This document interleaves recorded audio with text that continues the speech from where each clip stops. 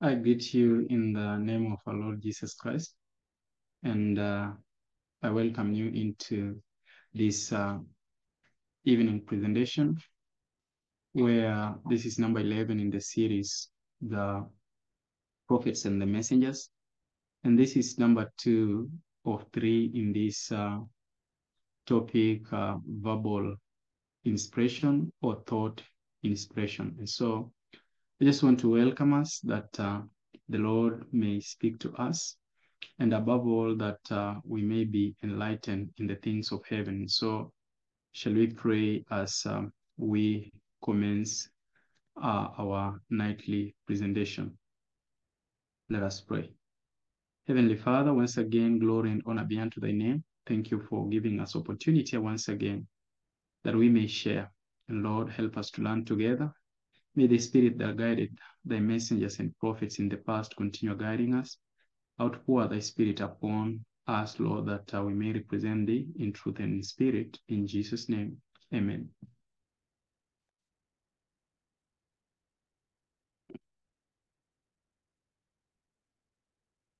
And so, in the number 10, which was one in this topic of uh, verbal inspiration or thought inspiration, we looked at a few things, uh, both uh, in canonical and non-canonical uh, uh, messengers of the Lord and uh, the things that uh, may seem uh, inaccurate or creating some discrepancy. And today I just want to continue with this issue. How do we uh, view the prophets? Uh, when they speak to us, is it uh, a verbal inspiration or a, a, thought inspiration? So, looking, continuing where we left, uh, and the issue of lesser light versus the greater light, I went through it at some length, and so I'll just pass over it. But uh, th this is what uh, I like to say as uh, we we go through this. Um, E.G. White herself said that a little heed is given to the Bible, and the Lord has given a lesser light to lead men and women to the greater light. And this you can go into a previous presentations, and you shall be able to um, see what we had to present on that. In fact, uh, uh, just that was in uh, presentation or uh, number four in the series, Prophets and messengers will be able to see uh, a full presentation on uh, the lesser light versus the greater light. But uh, I like to say this. In early 1903, Ellen White burdened about the decline in colporteur work and literature evangelism, wrote an article for the review. She wrote an article for the review and uh, in that article, she expressed appreciation for the successful promotion of Christ object um, lesson. She also wrote, Sister White is not the originator of these books.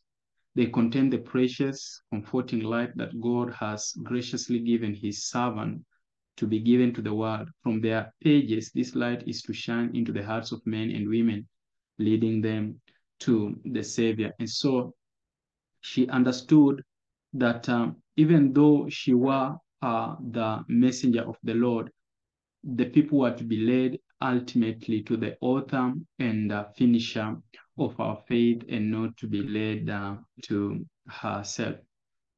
Then uh, she amplified uh, this connection between God's light and her writings and where her writings, as all other prophetic writings, will lead readers. She said the Lord has sent his people much instruction, line upon line, precept upon precept. Um, here a little and there a little, little heed is given to the Bible, and the Lord has given a lesser light to lead men and women to the greater light.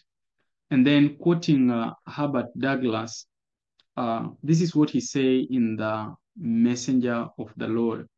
This is what um, Herbert Douglass has to say in the Messenger of uh, the Lord.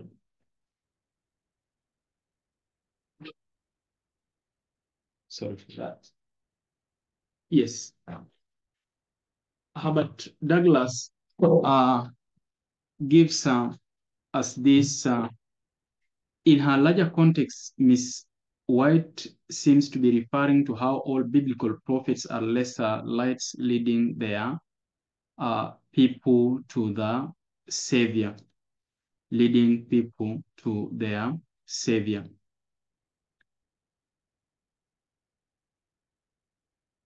The light of the world in John 8, 12, 9, 5, and 12, six. Even as John the Baptist came to bear witness of that light in John 1, 7, and 8. Because people in her day were giving little heed to the Bible, which was to lead people to Christ, the light of the world, the Lord spoke to her as a lesser light, even as John the Baptist and all other biblical prophets were lesser lights to lead people to Christ, the greater light. And so she realized this concept that um, actually she were uh, not the light, but Christ himself was the light, and all messengers of the Lord, both uh, uh, canonical and non-canonical, their ultimate goal is to lead people to Christ and not uh, uh, lead people to the, themselves, not lead people to uh, actually themselves. From uh, another point of view, no one can question that Ellen White regarded the Bible itself as a greater light, with its centuries of inspired writings and its gold standard accepted as the Word of God. Numerous are the references from her earliest days to her last that exalted the Bible, such as the Holy Scriptures are to be accepted as an authoritative, infallible revelation of His of uh, uh, His God's will. They are the standard of character, the reveal of doctrines, and the test of uh, experience. She saw clearly the relationship of her writing to the Bible. They were not only to exalt the Bible, they were to attract minds to it, to call attention to the words of inspiration, which uh, people had neglected to obey, and to impress vividly upon the heart um, the truth already revealed, to awaken and impress the mind that all may be left without excuse, to bring out general principles and to come down to the uh, minute uh, uh, principles and specifications of life according to how they understood what the Lord was himself speaking unto them. But uh, sometimes we ask ourselves, what did E.G. White mean when she said that her writings were lesser light? And uh, there are people who have viewed these things in three metaphors. Uh, uh, the testing instrument and that which is tested. And uh, I want just to read something uh, about um, how it has been categorized into three metaphors. When she, what does she mean when she says that her writing are, are less light? And uh, uh, this is uh, what Herbert Douglass has to say about this. I'm quoting from the Messenger of Light, and uh, I I um,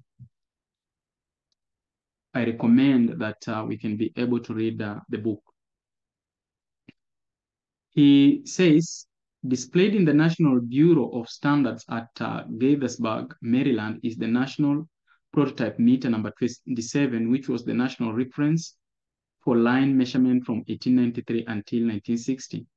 It is made of 90% platinum and 10% iridium. Today, the national standard is measured by an even more accurate method uh, involving light emitted by electrically excited atoms of crypto, krypton 86. If anyone is unsure about his yardstick, he or she may take it to the national standard for comparative analysis. The application is obvious. The national standard is the greater light. Copies of this national standard called working standard are industrial tools requiring exact precision and accuracy that meet the standard of the greater light would be lesser light. Yet for all practical purposes, these copies function as well as the standard.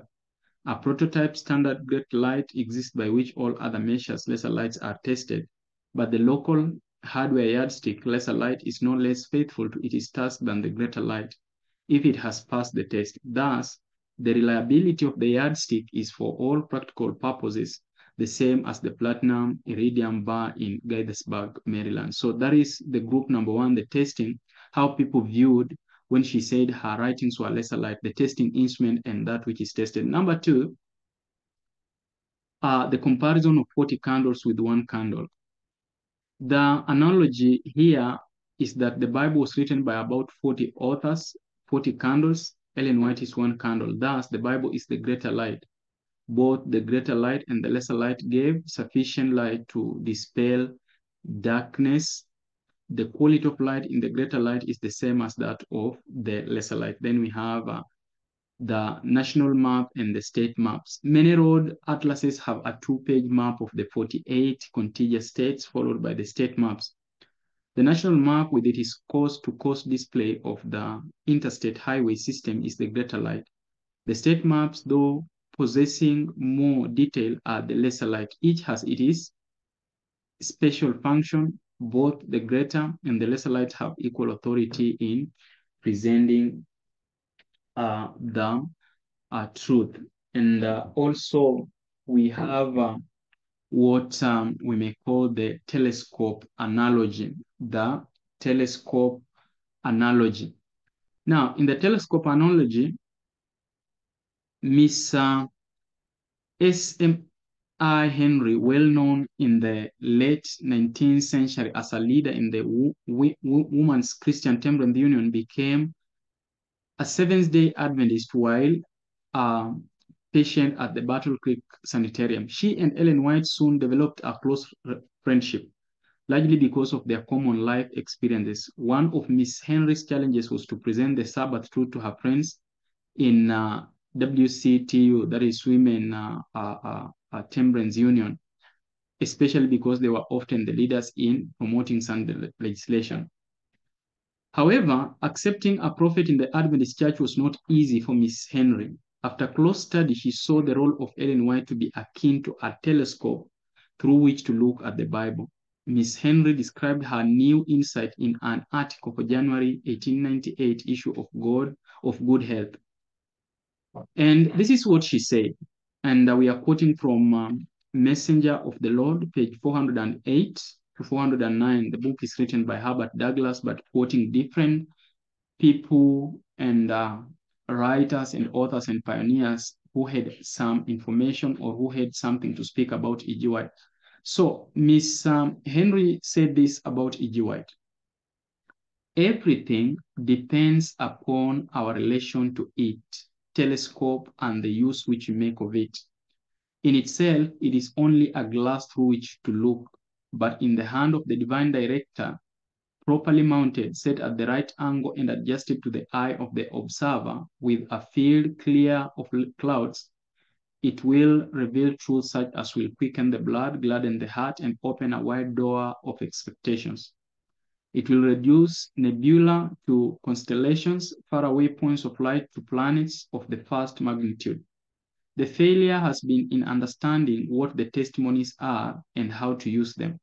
They are not the heavens palpitating with countless orbs of truth, but they do lead the eye and give it power to penetrate into the glories of the mysterious living word of God.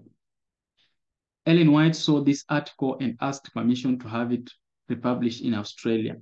She thought that Miss Henry had captured the relationship between the Bible and her work as clearly and as accurately as anyone could ever put into words. For Miss White, the Bible was always, always the greater light from which she derived her theological principles. And uh, so looking at um, what Miss Wright, uh, Miss Henry had to say, and this is what I have been repeating, that um, the writings of E.G. White has to be taken in a way that uh, people will find themselves an interest to the Bible not find an interest in E.G. White per se, but find an interest in uh, um, in exploring the Word of God and understanding what He is speaking, uh, what God is speaking to His people. And more so that uh, the glimpses she gives of the things which are hidden behind stories are uh, really to ignite and propel our minds to search more of this minefield which is hidden with the treasures uh, untold of. And so the writings of E.G. White do not replace the Bible. They are not placed side by side by the Bible.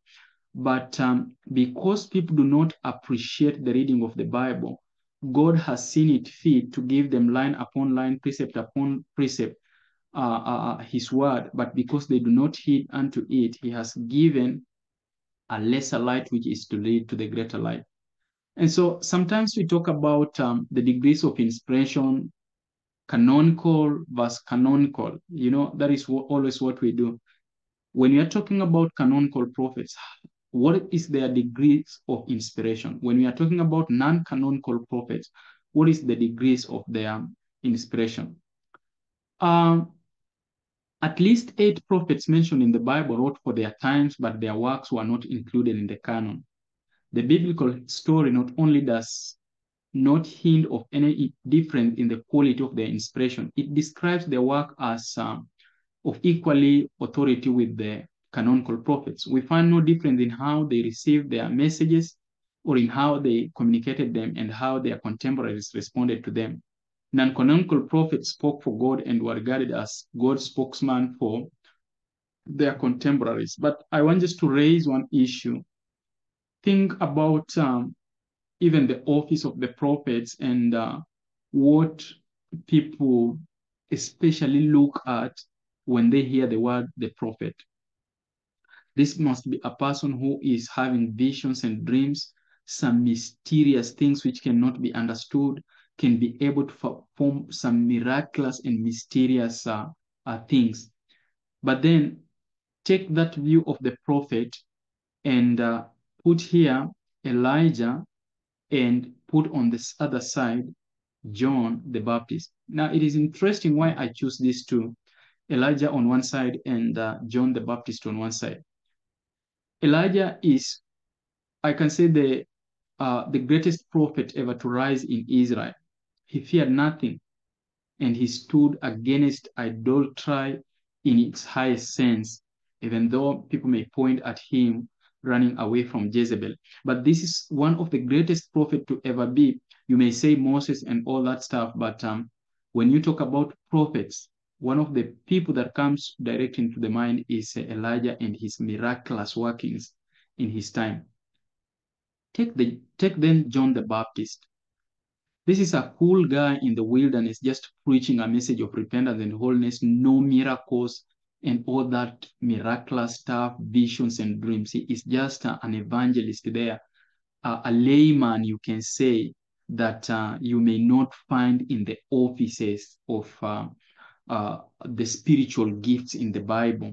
Uh, you, you wouldn't put him anywhere in that office. But when Jesus Christ comes, says, of all the prophets have that have ever risen, there is no one greater than John the Baptist. Now that is something.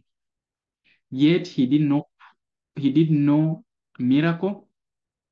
This guy had no visions and dreams. He was just preaching a message of uh, repentance in the wilderness.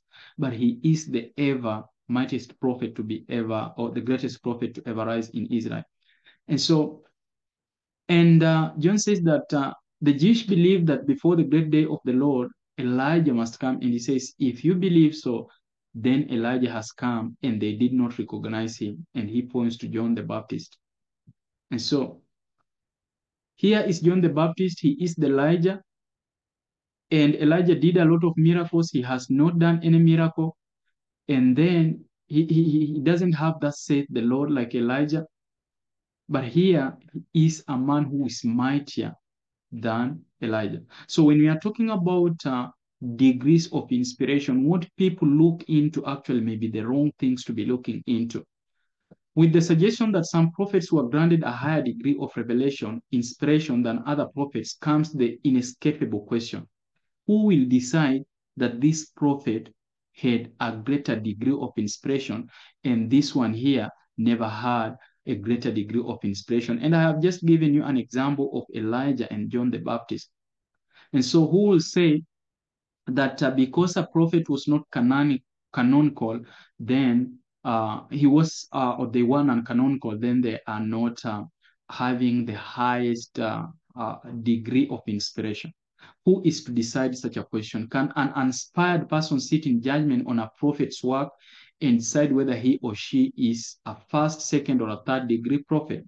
The gift of prophecy, as other spiritual gifts, is given to men and women according to his own will, according to Hebrews 2 4, not man's will.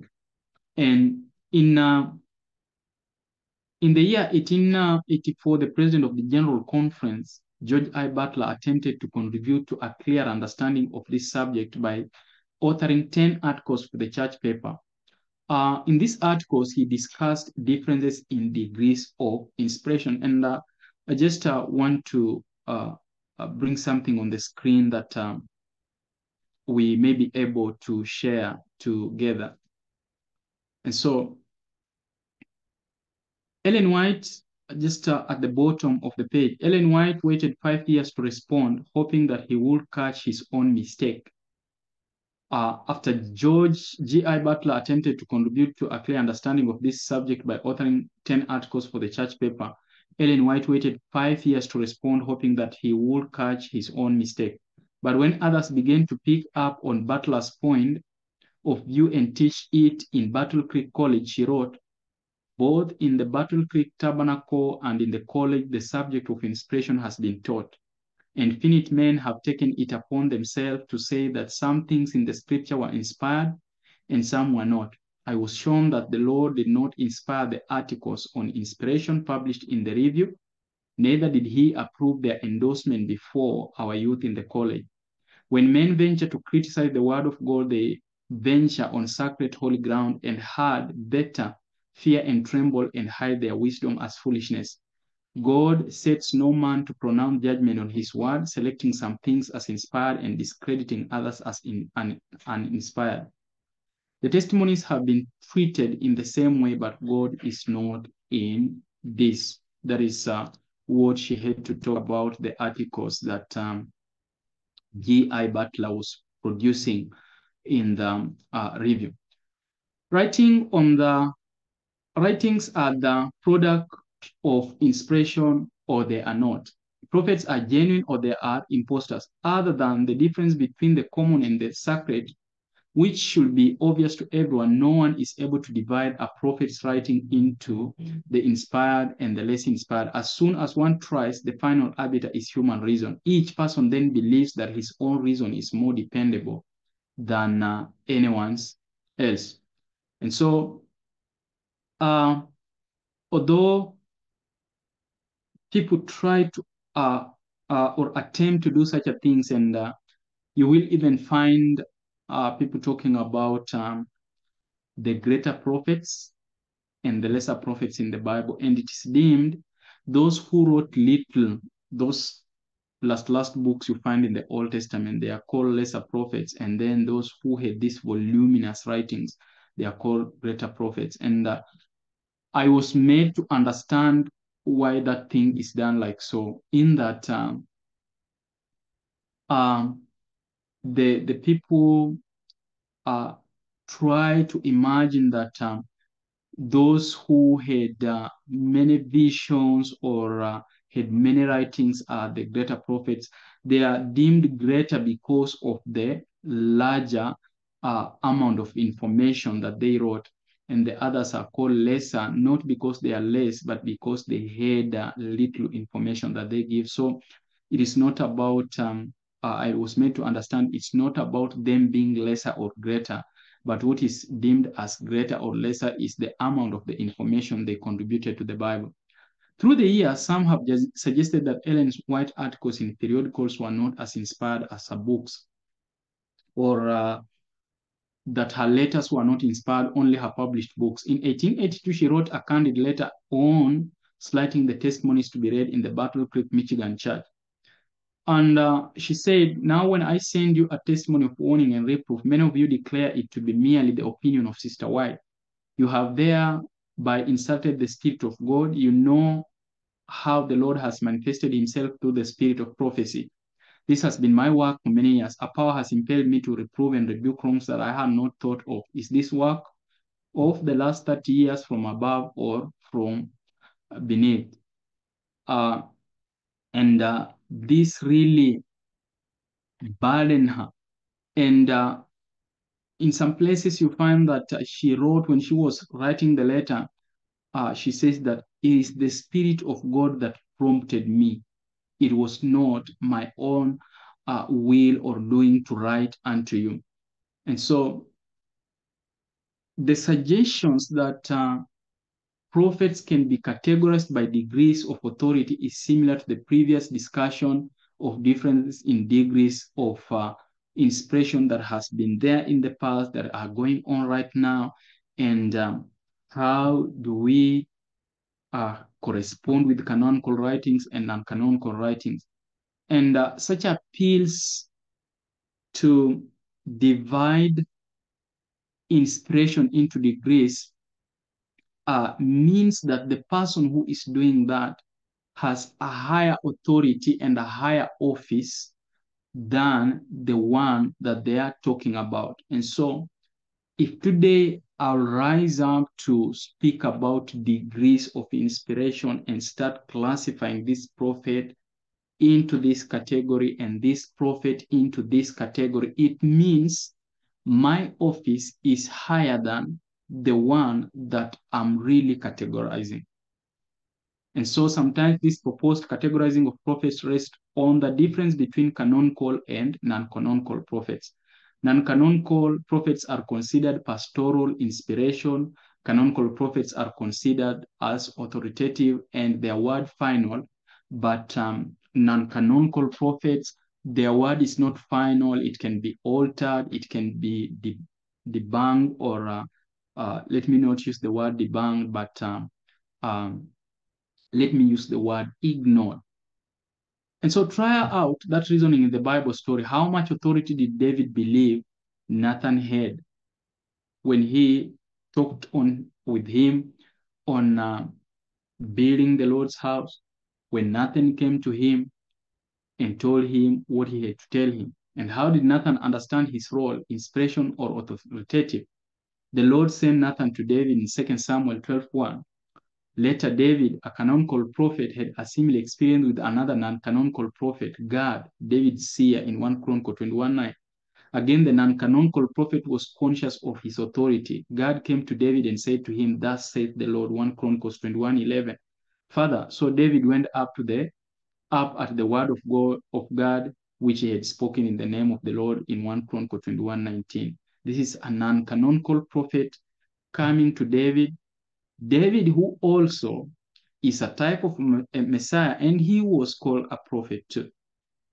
In his last sermon, um, the late associate of review editor Don F. Neufeld said, through his witness to the New Testament prophet, Jesus predicted that prophetic activity as one of many spiritual gifts will continue in the church.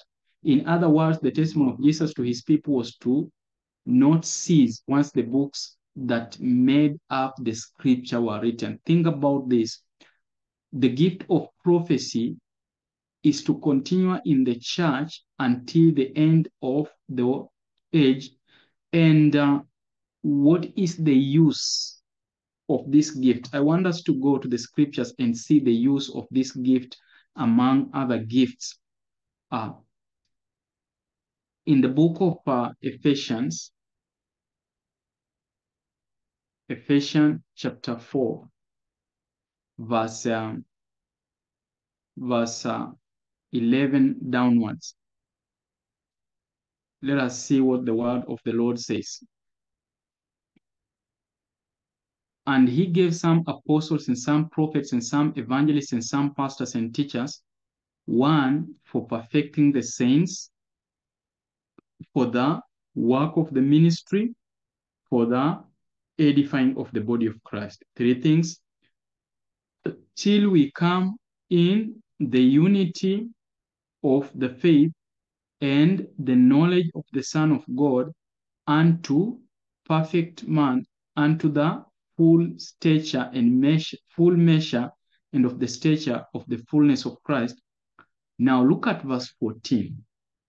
That we henceforth be no more children, tossed to and fro and carried about with every wind of doctrine. I want you to think about this for a moment. Let me highlight it. That um, the work of these gifts are to continue in the church until the end.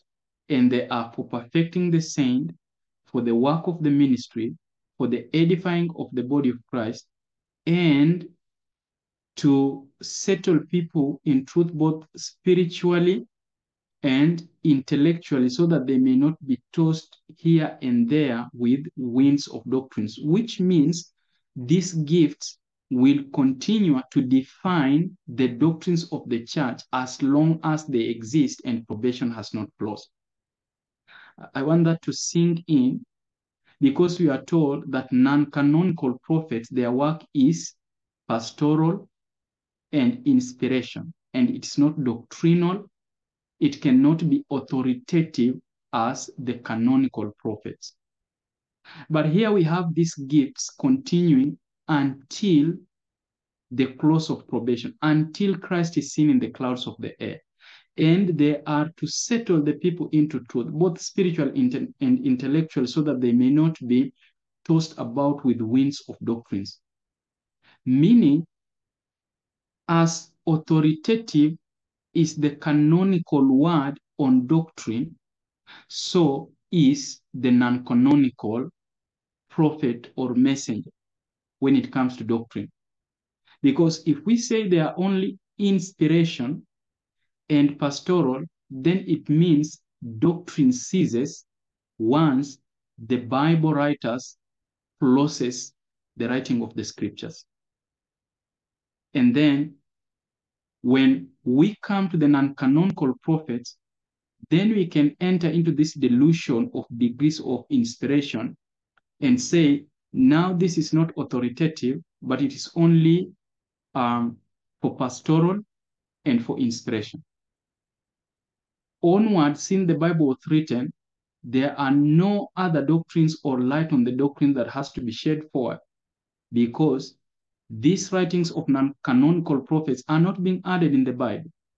But you see how there is a logical fallacy that uh, the non-canonical prophets are only for inspiration and for pastoral cases.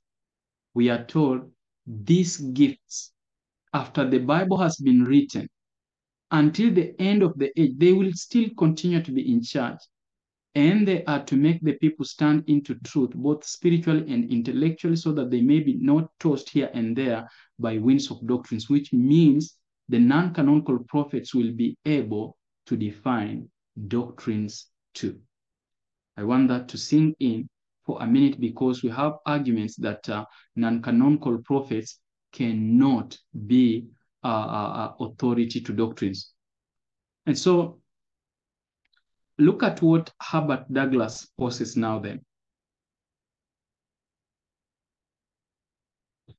This brings us to an important question if in all prophetic activity it is Jesus who is speaking, whether in Old Testament times, in New Testament times, or in the post New Testament times, can we logically draw a distinction and say that what Jesus said in any one period is more or less authoritative than what he said in any other period?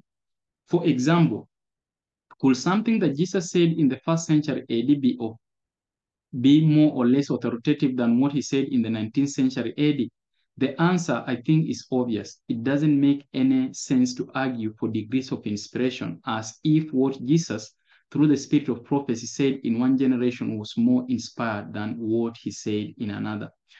When uh, Joshua, when Josiah 60, 621 BC recognized the long lost scriptures, probably Deuteronomy, and we can see that in Second Chronicle 34, 14, he trembled at the impending judgment foretold on God's people as a consequence of apostasy. He was perplexed as to whether he and his leaders had enough time to institute national reform. His loyal religious leaders, Shaphan the scholar, Hilkiah the high priest, and many teaching Levites were equally troubled. They all wanted to know the meaning of the scripture that promised both doom and blessing. Where did they turn for counsel? To the prophetess Huldah. Josiah appreciated and respected his uh, committed scholars and religious counselors. These trusted leaders were illuminated by the Spirit of God, but they too, with Josiah, needed a high authority to explain what the scriptures had meant in Moses' day and what they should mean in their day. For that authority, they turned to the prophetess. Josiah and his counselors recognized that the authority of a message is derived from its source. They perceived the same divine source in both the Bible and in the message of contemporary prophet. In comparing Huldah and Ellen White, we note that both intensified the importance of the written word, both focused the word on current situation, both exalted the scriptures, and both attracted the people to apply the Bible to their lives, leading reform. Messenger of the Lord, page 411 to 412. And so here you have a case of a Huldah who uh, is not uh, a canonical prophetess. And uh, another issue that we uh, have is uh, uh then uh, to what extent should we deem their messages uh, right or false? Now, this is a very simple thing to answer. And there is no other place we can head unless it is testing the non-canonical prophet with the Bible itself. And I'll just give one scripture in passing. To the law and to the testimony. And we are talking about the testimony of others who are before this non-canonical prophet. If they do not speak according to this word, there is no light in them. The spirit of the prophets is subject to the prophets. And no prophet will arise to undo another prophet of God which was before them. And so, um, are prophets infallible, by the way? Sometimes we ask such a things. Um, and their, are their words, uh, as we are seeing verbal or thought inspiration, are their words not subject to being understood in a better language? Is it as it is in the print? That is the end of it. All prophets use their own language imperfect as all human language is and always will be. Prophets use the language of their own family, community, and time. As the years go by, through study and travel, they improve their ability to understand and present God's message. The growth in perception and communicative skills make their prophetic role um, more effective. And uh, at this point, I, I just want to let's quote something from E.G. White, how she says that God actually works with uh, the prophets or um, both um, canonical and uh, non-canonical. Uh, and uh, I, like to refer, I, I like to read from uh, Selected Messages, book, book 1, page uh, 21 from paragraph 1 so that uh, we may understand some things in their context. When we are talking about verbal inspiration versus thought inspiration. Here she says, the Bible is written by inspired men, but it's not God's mode of thought and expression. It is that of humanity. God as a writer is not represented. Men will often say such an, an such an expression is not like God.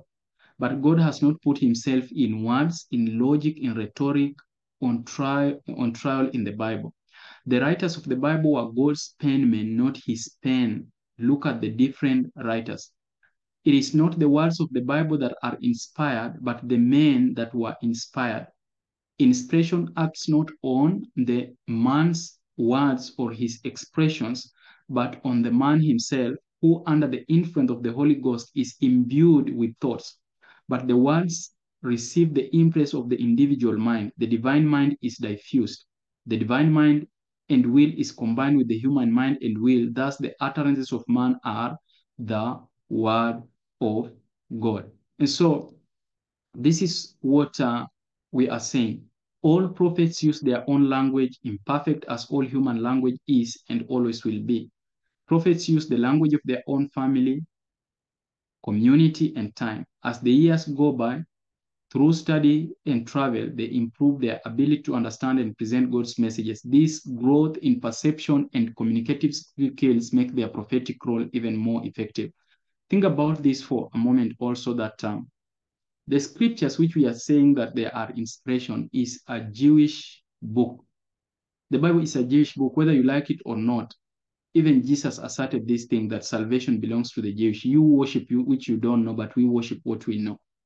And so that, that was not to cast a demeanor or uh, to throw a contempt upon Gentiles. No, that is a truth.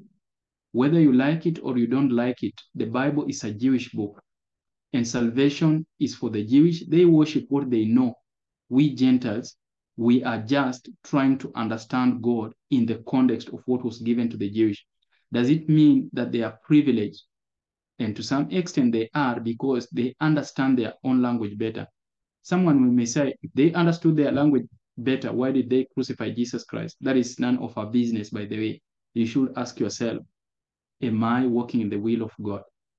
But they have the preeminence as the, uh, uh, uh, um, uh, what, word can I use? Those who receive the oracles of God, the repositories of the truth or the repositories of that word. So this is a Jewish text being tried to be understood by any other people. And the people who are writing wrote with a Jewish background. You cannot say the feasts, actually, as the Jewish uh, uh, uh, writer put them, Moses himself, they are they can be compared to the climate of other places in the world. No way. That, that the feasts actually fail in the climate and uh, the, the, the agricultural system of Israel. But they are um, a model that can be used in a wild, wild scale and um, not bring error to the scriptures which were handed to them. And so uh, the issue is verbal or thought inspiration. And God communicates to the prophets, and their work is to write down what they have received in a way that whoever shall read it, whether it is from their community or not from their community, can understand the text and find his savior in that text. But prophets are not perfect. They make mistakes. Sometimes they have faulty memories. Sometimes they make a slip of the tongue, lapsus linguae. Sometimes they misuse grammar. When Matthew wrote Jeremiah instead of Zechariah, when he found an Old Testament analogy to Judas' 30 pieces of silver in Matthew 27 9, uh, and 10, Jeremiah 2, 6, 9, and Zechariah 11, 12, he made a mistake of memory or lapse of thought. In a similar fashion, Ellen White attributed to Peter the words of Paul in 2 Corinthians 5, 14, the love of Christ can strengthen us, the apostle Peter declared. This was the motive that impelled the zealous disciple in the arduous, uh, arduous labors in the course of the gospel. And so they are not superhuman computers per se. The Holy Spirit corrects the prophets when their counsel, for whatever reason, may uh, adversely affect their work. Note how Nathan was told to change his counsel to David in 2 Samuel 7, and when Ellen White changed her counsel regarding the closing of the Southern Publishing Association. Um, but uh, the Holy Spirit does not correct the prophet's human finiteness in the use of their communication skills. Messenger of the Lord, page 412, 412, paragraph 5. Revelation in the work of God as he speaks to the prophet. Inspiration describes the many ways God works through the prophets in conveying his message to people. Biblical prophets and Ellen White have used at least six models of inspiration, and this is what uh, I want us to look at the six models of uh, inspiration. First, we have the visionary model. Most often, we connect prophets with visions and dreams, but God also has revealed himself in what we call theophanies, in which the actual presence of a heavenly being is seen or heard. We think of Moses at the burning bush in Exodus 3 4, and Joshua before Jericho, Joshua 5 13 to 15. On another occasion, the Lord opened the eyes of the young man, Elisha's associate, and he saw the mountain was full of horses and chariots of fire. 2 Kings 6, 15, 17, and that is Gehazi, I believe. Often, visions and dreams are so graphic that the prophet has difficulty distinguishing them from normal reality. Uh, Isaiah confidently could say, I saw the Lord, I heard the voice of the Lord in Isaiah 6, 1 and 8. Ellen White had many visions and dreams where the reality of the dream vision experience overwhelmed her as did for Daniel or Ezekiel. So one of uh, the models of inspiration is visionary model, where you find the prophet say that I was carried into this in, in the spirit. The second model uh, is witness model. God at times prompted certain biblical writers to give their own account of what they had seen and heard. John exemplifies this model when he wrote 1 John 1 1 to 3 that which was from the beginning, which we have heard, which we have seen with our eyes, which we have looked upon, and our hands have handled. These things we write to you that your joy may be full. The Gospels of Matthew and John are examples of the witness model. They did not need a vision to write out their messages. Here, the Holy Spirit was using a different kind of model of inspiration in addition to the vision dream model. Ellen White wrote many pages reflecting this witness model. Her words in a, such a, a mode are qualitatively inspired as her writings that were prompted by dream or vision. Historian model. That is number three. Luke and Mark did not write their gospel after receiving dreams and visions. Neither were they witnesses to the revelation as Matthew and John. Mark, it is generally agreed, depended largely on Peter's witness, but Mark was not an eyewitness, he was a faithful historian. Luke candidly describes his method of telling the gospel story in his preface addressed to Theophilus. In some, in as many have taken in hand to set in order a, narrat a narrative of those things which are most surely believed among us, just as those who from the beginning were eyewitnesses and ministers of the word delivered them to us, it seemed good to me also having had perfect understanding of all things from the very first to write to you an orderly account, most excellent Theophilus, that you may know the certainty, the certainty of those things in which you were instructed. Luke 1, uh, chapter 1, verses 1 to 4. Thus, in, uh, in the historian model, God expects his messengers to use all pertinent historical records, oral or written, to fill up the message. God provides the message and helps the messengers find the suitable material to make the message understandable to their readers.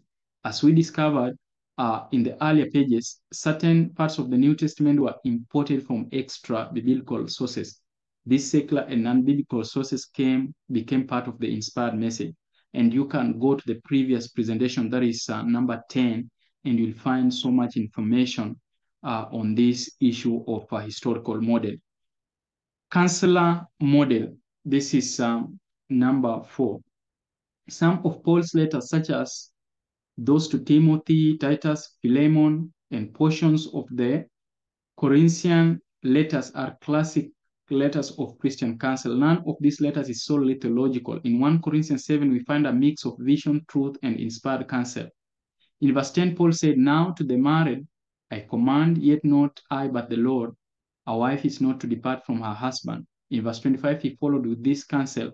Now concerning virgins, I have no commandment from the Lord, yet I give judgment as one whom the Lord in his mercy has made trustworthy. In verse 40, he reminded the child that the wives the wife is happier if she remains as she is, according to my judgment, and I think also I have the Spirit of God. If someone would suggest that vision counsel inspire, is inspired and non-vision counsel is not, we will be dividing what Paul never did. What part of the Timothy letters is more inspired than the other parts? Paul will say, I have the Spirit of God. And uh, then we have uh, uh, epistolary model. But uh, before that, a large part of Ellen White's testimonies will be classified as counsel from one who had the Spirit of God, just um, as even Paul says that I have the Spirit of God. Um, this does not always mean that she had a special vision for specific counsel. In her years of receiving vision, she had developed a keen sense of rightness and propriety. Her collected inspired wisdom gave her a rich store from which to draw, even as Paul would do in writing this counsel to individuals and to churches. Whether transmitting judgments derived from a vision or counsel based on years of listening to God, both communication came from one mind inspired by the same spirit. A episto epistolary model, that is number five. Letters to congregations and individuals, the most common method used by New Testament writers. Some of the letters were private, others were meant to be read publicly. It seems most probable that Paul never thought that the, his letters to Philemon, Timothy, and Titus would become public, but we are thankful that they did. In these letters, we see a mix of common matters with obviously spiritual counsel and instruction. These New Testament letters help us understand better how to relate to Ellen White's many letters that often were private and frequently mixed the common with the sacred. If the Lord permitted Paul's private letters to be included in the canon for universal distribution, it will be appropriate to believe that the letters of this of his modern prophet might also bring encouragement and corrective counsel to those who do not have the benefit of her personal, personal ministry. And then we have lastly the literary model when we go when we are talking about uh, the models of inspiration, not the degrees of inspiration. Literary model. The Bible contains portions such as the Psalms, Proverbs, and Ecclesiastes where the writer expresses his most intimate feelings through poetry and prose. Again, it seems improbable that David or the other psalmists thought that their songs will eventually be in print and circulated the world over. Their deepest emotions, elation, as well as anxiety, flow like an artesian well. In God's wisdom, these human emotions were meant to be preserved for the benefit of all who struggle in their daily lives. And so, although Ellen White was not a poet, she also expressed her keenest emotions in thousands of diary pages. We are reminded of the apostles' words in Hebrews 1:1 that God has at various times and in different ways spoken to us throughout human history. In listening to David or Ellen White, we in, or Ellen White, we often hear our own cries of anxiety, even discouragement, as well as our joy. And uh, sometimes you have just to look at um, the letters of E.G. White to uh, the son, uh, Edson. And uh, my friend, you will understand the cry of a mother and how to deal with children. And you will find comfort in that.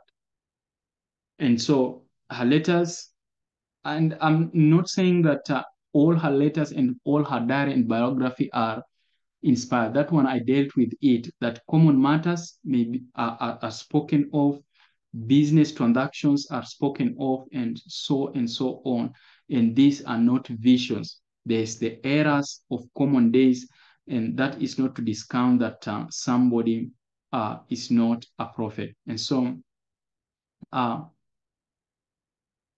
when are we supposed then to quote her? And this, um, we went uh, we, we, we tackle much of this in um, uh, number six in the series, The Prophet and uh, the Messengers.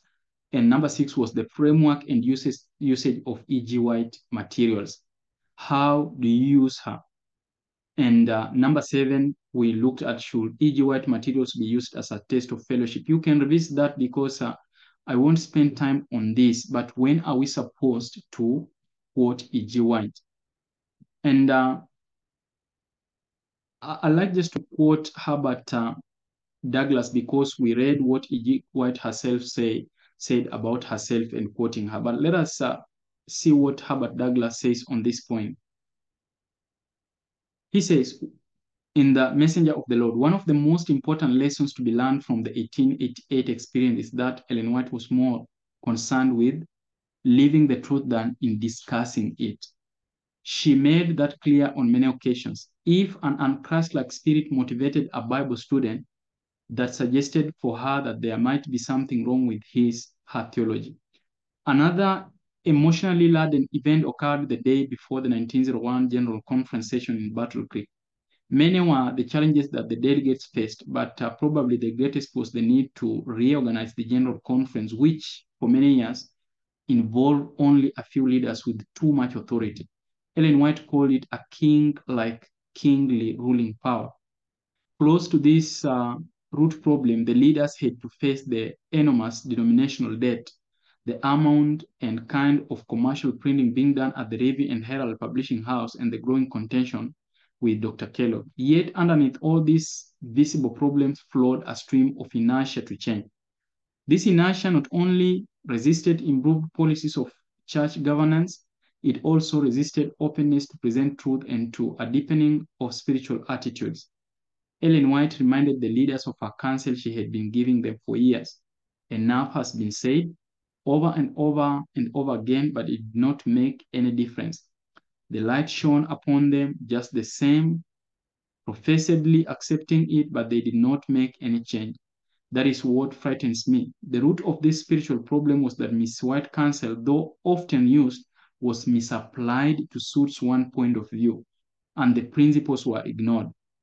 He, God, wants you to eat his principles, to live his principles, but those that are there now present church leaders never will be, will appreciate it. They have had their taste, they have had their warnings, and now there must be a change. So Ellen White wanted no more lip service to her counsel. Lay Sister White right to one side. Do not you, do not you ever quote my words again as long as you live until you can obey the Bible. When you take the Bible and make that your food and uh, make that the elements of your character, when you can do that, you will know better how to receive some counsel from God. But here is the word exalted before you today, and do not you give a rap anymore what Sister White said. Uh, Sister White said this, and Sister White said that, and Sister White said the other thing, but say, Thus said the Lord God of Israel, and then you do just what the Lord God of Israel does and what he said. So she wanted the church leaders to live out the principles of the gospel, not to hide behind quotations from her as if meeting some of her counsel on church work could make up for their lack of Christian character. Her many testimonies regarding the seamless union of medical missional work with the ministry had been generally ignored. Her counsel regarding the relationship of the mind and the healthy body had also been largely disregarded. In um, 1901 setting, uh, in the in this 1901 setting at Battle Creek, Ellen White was not discussing the relationship of her writing in the development of doctrine when she said, Father, do not you quote Sister White. I do not want you ever to quote Sister White until you get some, get your vantage ground where you know where you are. Quote the Bible, talk the Bible. It's full of meat. Carry it out in your life and you will know more Bible than you know. Now, and I ask you to put on the armor, every piece of it, and be sure that your feet are shod with the preparation of the gospel. She was simply telling these church leaders that appeals to her writings for whatever purpose was missing the mark when they were not, generally speaking, internalizing the principles of the gospel found either in the Bible or in her writings. Living the gospel was more important than playing church, no matter how many question, quotations about the gospel were in their head. Now, this uh, is a very important thing to talk about. Sister White, it's not wrong to quote Sister White, although she said lay her aside. But then it will be so wrong to quote her to justify yourself in any way, shape, or form. He says, leave out the Bible. That is the very important thing. By the way, we misuse her writing so much when we think it is to settle scores amongst ourselves. The purpose of the writings, whether they be canonical or non-canonical, is to live a pious life, to live a Christian life, not to uh, use the Bible or the writings as a sledgehammer on other people. That is why she says, do not quote me. If we quote Sister White, both in church and outside the church, and we are li living like devils, what we are doing is making of her writings of none effect. If I say I'm a friend of, let me take an example of my wife, Remy Wilberforce. If I say that I'm a friend of Remy Wilberforce, then somebody finds me that um, I'm a thief, I'm a robber, I'm a murderer, then my character will not remain with me alone. My character will be extended to the person that I associate myself with or I recognize myself with. So if I'm saying that uh, I'm a friend of so and so, then my character should go before the so and so. And when people see my character, then they can readily accept the person I'm saying I'm identified with. I, I hope we understand each other well. The issue is not quoting Sister White or quoting the Bible. The reason why people have rejected the Bible, and this was even written by Paul in the book of um, Romans, and uh, I'll, I'll just bring the verse on the board right away. Uh, in the book of Romans, this is what Paul Paul says. Uh, in Romans chapter 2, verses uh, 19 to 29. I'll read this because it is important to me to illustrate what I'm illustrating. Romans chapter 2 from uh, verse uh, 19. And art, and art confident that thou thyself art a guide of the blind, a light of them which are in darkness, an instructor of the foolish, a teacher of babes which has the form of knowledge and of the truth in the law. Thou therefore which teachest another, teachest thou not thyself? Thou that preachest a man should not steal, dost thou steal? Thou that saith a man should commit should not commit adultery, that thou commit adultery, thou that abhorreth idols, that thou commit sacrilege. Thou that makest thy boast of the law, through breaking the law, dishonoreth the thou God. Now look at this point clearly. Thou that makest thy boast of the law, through the breaking the law, dishonorest now thou God. You see, Paul here is giving a fact. If we say we are Christians and then we live a life that is not a Christian life, then we bring dishonor to Christ, whom we take the name from and whom we call. And so if we quote Sister White and we are living contrary to the truth revealed in her writing, we make people readily reject her rather than accept her like uh, there is no way when people look at us and they find that we have a high spirit, we have this character that is unworthwhile, and they say, oh, this is the, the, the, the spirit of their prophet. Because they are quoting from that prophet, then that is the spirit of that prophet. So whatsoever, it's not wrong to quote her. But if you don't have a character fit for heaven, then you make her writings of none effect. That just as the Paul has said, if thou boast in the law, and thou breaketh the law, thou dishonoreth the God of that law. And that is how we misuse even E.G. White's writing and other people's writing.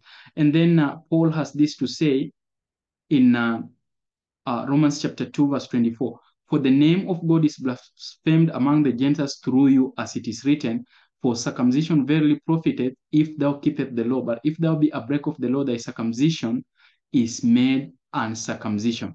Therefore, if the uncircumcision keep the righteousness of the law, shall not his uncircumcision be counted for circumcision? And shall not uncircumcision, which is by nature, if it fulfill the law, judge thee, who by the letter in circumcision dost transgress the law? Very interesting. For it's not a Jew which is one outwardly, neither is that circumcision which is outward in the flesh. But he is a Jew which is one inwardly, and circumcision is that of the heart in the spirit and not in the letter, whose praise is not of men but God. And I can paraphrase and say this that uh, actually, those who don't have the Bible, when they do the things of the Bible, they are a law unto themselves, and they will despise you. You who say that you have the Bible and you cannot keep the law, they'll readily go to heaven, but you have heard the Bible all these days will not. Those who say that we have a prophet, a messenger amongst us, as it is on my right side, you can see that. And yet, they do not reflect the character of a prophet or a messenger. What shall it be a prophet to them? The people who do not have a messenger or a prophetess or whoever, they are privileged than those who have a prophetess whom they only quote at their convenience to beat others like a hammer on the nail and nothing else. And so while we talk about when should we quote Sister White, I say we can quote Sister White in our character. When our character are not right, then we identify how she is a false messenger. When our character are right, then we can identify fully correctly with her writing. So today you may say you are not going to quote her, but since you have been professing about it and your character is filthy, then you are still identified with a false prophet. But if your character is leading you to cite the word of the Lord, piousness, and in, get involved in having a personal relationship with God, then it can be identified these are the effects of the message from their messenger. They are Christ-like. Mahatma Gandhi says, I do not like your Christianity. I like your Christ, but I do not like your Christianity. You can think about that. May it not be said of us like that. And uh, as we just bring this to a close, um, E.G. White herself in her writings stated that the Bible was given for practical purposes. She urged her readers to join her in taking the Bible just as it is, as the inspired word, and that in obeying the word, not one of you will be lost. And so both uh, non-canonical and canonical prophets or messengers of the Lord, their ministry is, as I said, to direct the people to the word of God.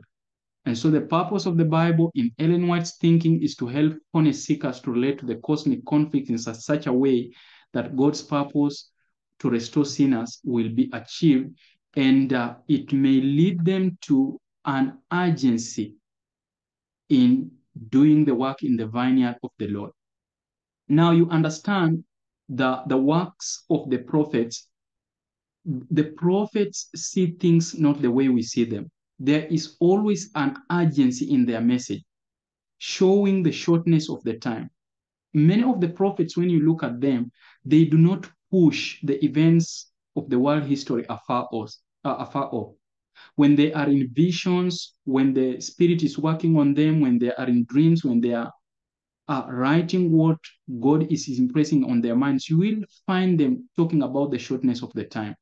But that does not mean that um, the messengers of the Lord are uh, alarmists because events pass on uh, high speed on their minds in their visions and they are shown future things in um, a span of minutes or a span of seconds. And so their message seems a message of urgency. And that is the, the work of the prophets. And so just the way you wouldn't say Peter and Paul and the other prophets like Daniel and uh, Ezekiel and Jeremiah were wrong when they when when the, they wrote like the second coming will happen in their days or the first coming will happen in their days. So you cannot say that uh, uh, these non-canonical messengers or precisely E.G. White, uh, her, she was not inspired as they were inspired because she wrote in some urgency uh, that uh, things were going to happen and they have not happened until today. We better remember what Peter said, that the Lord is not slack in doing what he has said that he will do, but rather he did not, delight in the death of the wicked. And so it seems that time has started so much. But then time has not tarried. God is waiting for all us over all of us to come into repentance and then uh, have a place in his kingdom. So within the Bible story, we find a built-in capacity for self-correction and understanding the Old Testament, understanding of God's plan for this world and how he will intervene and create a new world was clarified in later revelation in the New Testament, and things seems to be happening in rapid succession when you are reading the prophets, both canonical and non-canonical. And uh, just because things have tarried, then it should not lead some to be atheist and dispute about the Bible or some to reject E.G. White and her writings. Uh, and uh, in conclusion that uh, let us guide, uh, lead people back to the Bible. as we read her writings, as we read canonical and non-canonical writings, let us have this thing in mind that um, what we want to achieve is people to have a personal relationship. I continue saying personal relationship because we think once we are identified with a movement, then we are sealed and our names are recorded in the Bible. Our work with our different spiritual gifts are to guide the people back to the Bible. Both uh, uh, uh, non-canonical and canonical um, messengers of the Lord, their main work was to point people to Jesus. And more so with non-canonical uh, uh, messengers, their, uh, the, the, the, their task was to help people get their foot back in the Bible. And uh, nothing should be our creed but the Bible. Nothing should be our creed but the Bible. And when we do this, uh, we shall see our works uh, being accompanied by the Spirit of God and many things that have been disturbing us, many things that have been uh, giving us um, a hard time will uh, actually uh, become lighter. Uh, I, I, want to just um, read something in this closing.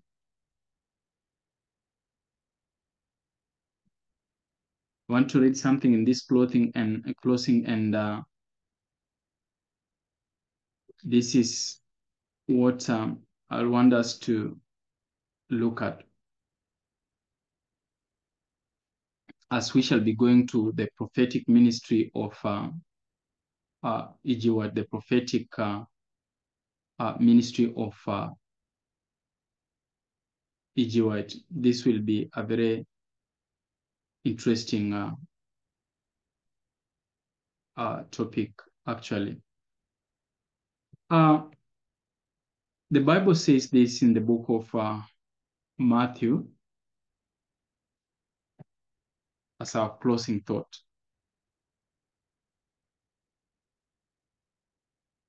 In Matthew chapter 11, verse 28 to 30.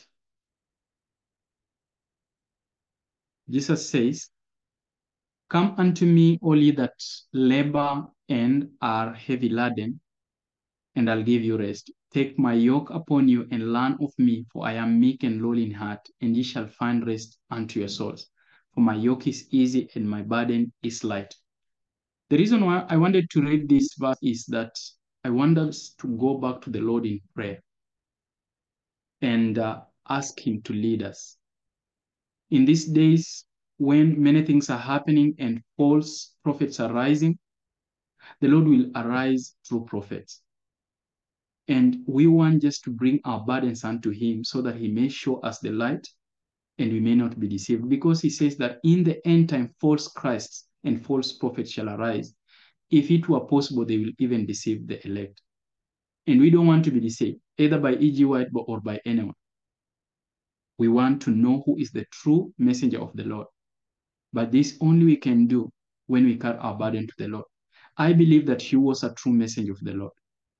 And I believe her messages have helped me grow spiritually and in every way but also I don't want to impose anything on anyone. I just want to point everyone to Jesus Christ, and it should be the burden of everyone. And so much disputations will not guide our soul, soul's interest. But if we bring everything to the Lord in prayer, He will be able to show us both to understand the Bible, which is canonical, and both to show us the non-canonical messengers he is using and has been using in these last days. Otherwise, God bless us and uh, may we continue praying for each other. As we see the day nearing, may we provoke each other unto love. And so may we pray as to bring this to an end. Our dear Father, again, thank you because of your love to us. And I just pray that uh, you may fill our hearts with thy spirit, Lord. the same mind that was in thy Son, that it may be in us. We may love each other deeply and we may have a burden for winning souls from darkness. And so bless us and continue using us as vessels of honor in thy sanctuary. Mold us into thy own desired uh, vessels, Lord. And uh, above all, may we prefer one another and uh, may we show intimate love to one another, a love that cannot be broken. May you unite your church that it may do the purpose you put it on this earth to do. And may you, Lord, raise amongst us a people whom shall be used in the offices that you have said they shall be there until the end of the age. This is my prayer in Christ Jesus' name. Amen.